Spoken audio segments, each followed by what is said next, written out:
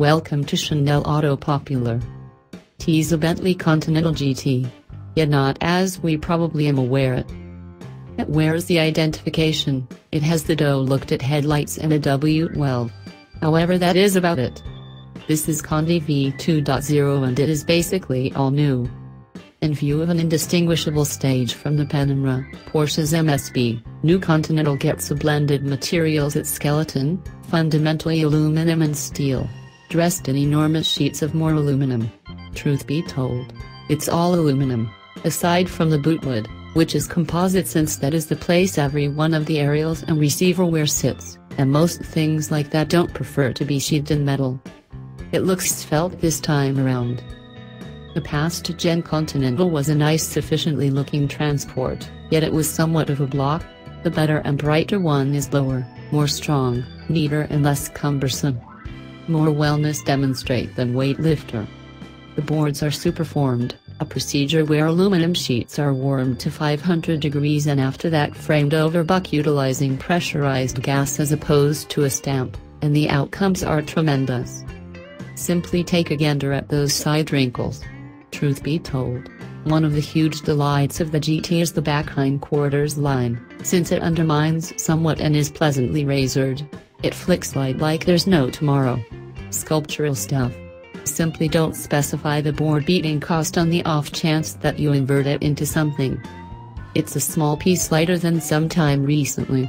However to be completely forthright, it isn't so much that enormous an arrangement in rate terms. There's a ton of stuff backpedaled into the engineering after the underlying equipment weight loss. It's still got a foolish W12 however? Indeed, and, er, no. There's as yet a W molded 12 barrel in advance, like a couple of V6s inclined together, yet the motor has been extremely improved. It's currently got twin infusion, isolate frameworks for both high and low weight, useful for particulate administration, control conveyance, refinement and the benefits assets of injector producers, twin scroll turbos, variable removal, closing down one side of the motor in gears 3 to 8 beneath 3000 revolutions per minute, begin stop, and dynamic motor mounts. Every one of that implies more MPG, and a respectable 278 grams km, Euro 6 consistent, US LEV 3, and better refinement. What it intends to us, is 626 bhp, up 7.5%, and an incredible 25 for every penny more torque, accessible in under 33% of the time versus the old motor. This is all magnificent news since it implies that the GT now hits, in standard shape, bear in mind, 0 to 62 miles per hour out of 3.7s and 207 miles per hour with an adapt increasing speed that'll push your eyebrows past your hairline.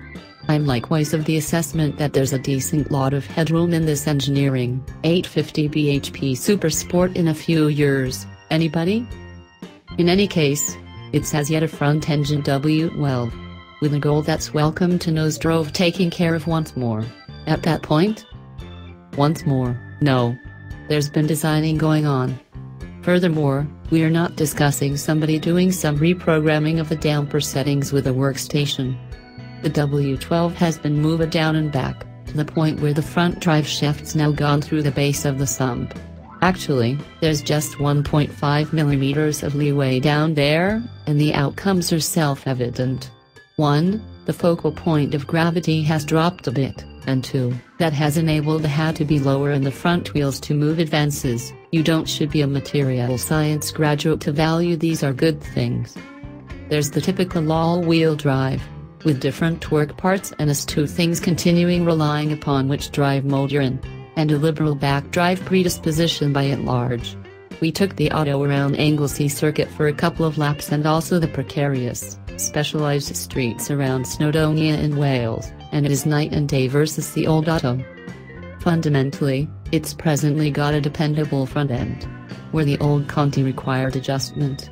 Super Sport and GT3 less so, to a propensity to headbutt things, the new auto burrows and drives.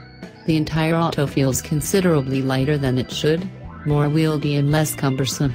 There's better body control toward each path, including pitch under braking, and where you'd be interested at making the old Conti do stuff, Now you really feel happy with going quickly.